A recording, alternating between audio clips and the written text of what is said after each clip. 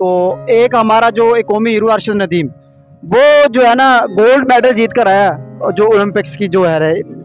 तो वो जीत कर आया कि उसका क्रेडिट किसको जाता है? जो इनका क्रेडिट है ये आ, मतलब प्योरली अरशद नदीम को उसकी मेहनत को उसके वालदेन को जाता है और जो उसके अज़ीज़ कारब है जिन्होंने उसको हौसला दिया मतलब उस टफ टाइम के अंदर क्योंकि उसको किसी ने स्पॉन्सर नहीं किया किसी ने उसको जो है फिनेंशियली सपोर्ट नहीं किया लेकिन उसने सभी कुछ अपनी मदद आपके तहत ये सारा किया और अल्हम्दुलिल्लाह गोल्ड मेडल लेकर पाकिस्तान आ चुका है। हुकूमत वाले कह रहे हैं कि हमने किया।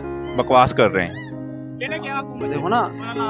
यार हुकूमत वाले और भी बहुत कुछ कहते हैं। आप उनसे बल्कि प्रेस कॉन्फ्रेंस भी करवा ली है सर वाशिर नदीम कहता है कि मैं मैं ये ये जो पौधा जो है शबाज शरीफ का लगाया हुआ है। ये बिल्कुल ऐसे ही है आ, मतलब आ, इस इसमें जो एक आम आदमी है ना उस बेचारे की ना कोई ज़िंदगी है ना उसके कोई बयान होते हैं। आज वो कुछ और कहता है कल को कुछ और कहता है। मतलब या हो सकता है कि उसकी तरफ़ से ये वाला जो बयान है वो किसी आ, मतलब कोई उसको कोई चीज़ ऑफ़र की गई हो या कोई भी ऐसी वो हो जिसकी वजह से उसने ये वाला बयान दिया हो। वरना इसके अंदर इस तरह की कोई वो सच्चाई नहीं है। क्योंकि ये लोग जो है ये तो अगर कहीं पर एक गटर का ढक्कन भी लगा दें तो उसकी भी ये शो ऑफ़ करते हैं उसको प्रमोट करते हैं।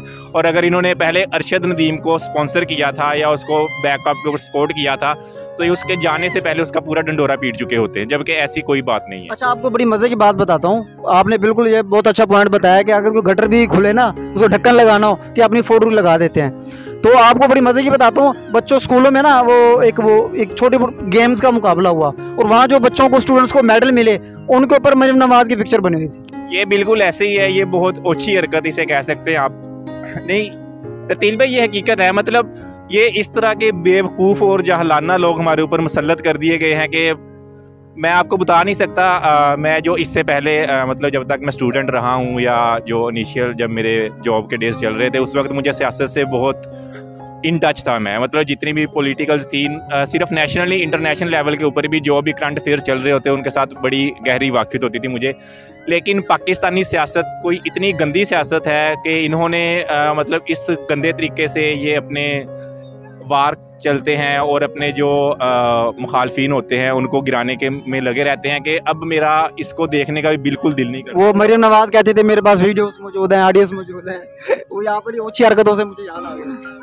सर देखें मुझसे इन बातों के ऊपर ना लेकर जाएँ क्योंकि कोई ये मरियम ने यार ये तो मरियम ने मरियम ने खुद कहा है कि मेरे पास उसका बयान है कि मेरे पास तो भाई वीडियोस ऑडियोस मौजूद हैं दूसरों की उनकी तो ये है वो है। मतलब ये आपकी बात बिल्कुल ठीक है कि ओछी हरकतें करते हैं। अच्छा जैसे वो आटा जब दिया था गरीबों को जो आटे का बुरान हुआ तो वहाँ नवाज़ शरीफ की पिक्चर लगा दी शहबाज शरीफ की लगा दी। तो ये मतलब ये क्या है? इससे क्या साबित करना चाहते हैं ये बगैरती है? ये बगैरती है। ये आ, ये कह लें कि आप इनका इंतहाई घटियापन है और कुछ भी नहीं है। जी बिल्कुल आ, आ, ये भाई ने बड़ी जो है ना लेकिन अब आप मुझे काइंडली ये भी छोटी दिला दें कि मैंने उनके खिलाफ अगर ऐसी बातें की है तो कल को कोई वीको डाला वगैरह नहीं आएगा मुझे उठाने के मतलब मैं एक आम सा आदमी हूँ जिसे लोअर मिडिल क्लास में तो ऐसा ना हो कि कल को मुझे अपनी नौकरी के लाले पड़ जाए। तो ये वाली जो चीज़ है ना इट्स मोस्ट आपने ऐसी कोई बात नहीं। आपने देखो सर ना आपने कौमी सलामती के खिलाफ कोई बात नहीं की। मैं इसकी गारंटी देता हूँ आपको कोई नहीं उठाएगा। हाँ अगर आप सपोज़ ऐसा कोई काम करेंगे या ऐसी कोई बात करेंगे जो कौमी सलामती के खिलाफ हो फिर किसी को भी वी को डाला उठा सकता है। हाँ बस। आपने तो बड़ी जनरल बातें की है जो कि हर बंदा मेरे ख्याल में हम तो इंटरव्यू लेते हैं हर बंदा की ये उसके जज्बात है। हर हर बंदे के ये वाले जज्बात है और ये जार सी बात है उन तक भी ये वाली बातें पहुँच रही है लेकिन वो इतने घटिया और आप ये कह सकते हैं कि बेशरम लोग हैं उनको फिर भी इससे कोई फ़र्क नहीं पड़ता। मतलब वो अभी भी ये कहते हैं कि हम अवामी मैंडेट लेकर आए हालाँकि सभी को पता है कि इस इलेक्शन में क्या हुआ था वो किस तरह से आए हैं। तो लेकिन फिर भी वो उनकी बेशर्मी की इंतहा है मतलब उनकी ढटाई की इंतहा है कि हम उनको कुछ कह नहीं सकते। अब मैं खुद एक ये भी तो उनका लेवल है ना ये तो उनका कॉन्फिडेंस है। इतनी एक बंदा किसी की हक मार किसी का हक छीन के किसी का माल छीन के उस पर कब्जा किया हुआ कहता है हमारा है। ये भी तो कॉन्फिडेंस है ना उनका चेक सर ये मैं ये कह रहा हूँ कि इससे जो हमारा मुल्क है ये तबाही की तरफ़ जा रहा है। मैं खुद एक ग्रेजुएट सर ये जो बातें कर रहे हैं ना आप इसमें एंट्री मार के आप नहीं राय दे सकते। हैं कि मैं एक ग्रेजुएट बंदा हूँ और अल्हम्दुलिल्लाह मतलब मेरे पास प्रोफेशनल एक्सपीरियंस भी है। आप क्या मेरे पास सिर्फ़ ये है कि अभी पैसा नहीं है। जैसे ही मेरे पास भी पैसा आएगा मैं भी मुल्क से उड़ान भरूँगा किसी दूसरे मुल्क में चला जाऊँगा। आप क्या जो भी यार मैं कमिस्ट हूँ और मैंने पाँच साल जो जॉब की है लैब के अंदर फार्मास्यूटिकल लेबॉर्ट्रीज के अंदर। तो मेरा उसी का बैकग्राउंड है लेबॉर्ट्री का ही टेस्टिंग के हवाले से।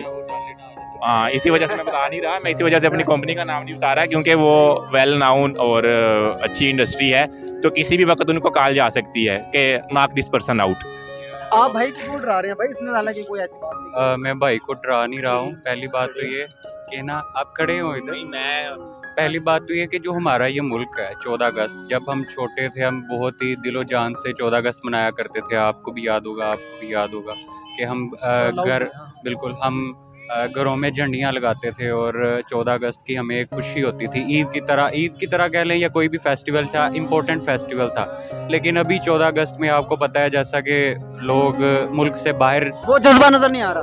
वो जज्बा- कहना चाह रहे हैं। बिल्कुल वो जज्बा भी नज़र नहीं आ रहा और उसके कसूरवार कोई अवाम भी नहीं है। लेकिन ये अ, मतलब के कौमी तौर पे ही ऐसे हालात सारी अ, मेरे ख्याल में कसूरवार वो हैं जो अवाम का मैंडेट छीन के बैठे हैं। मुझे तो ऐसे ही लग रहा है कोर्ट ने इतनी महँगाई कर दिया है, अब गरीब एक तो महँगाई में पिस रहा है। और दूसरा, जब आप किसी का हक छीन लेंगे, जब आप किसी का हक छीन लेंगे, अब वो साफ़ उसने तो वो, उसे तो मायूसी होना है ना? तो वो किस किस तरीके से वो खुशियाँ मनाएगा?